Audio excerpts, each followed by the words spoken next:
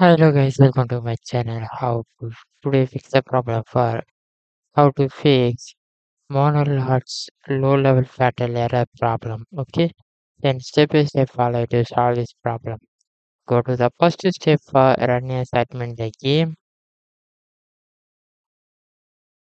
You the, this game icon, then right click to properties, click to the compatibility. You will set the run as program as an administrator, click to apply, click to OK.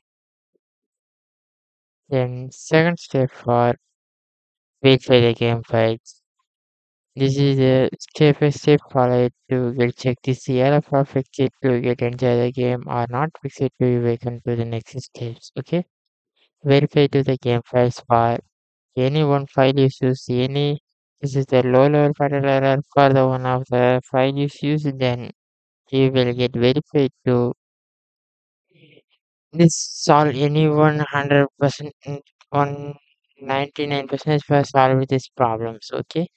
Uh not solved to we can to the third step for uninstall to reinstall the game. Get selected this game then right click to delete okay. Then delete it to click to the windows icon get restart your pc or laptop to after you will get reinstall the game okay? Then anyone doubt to print the comment and thank you for watching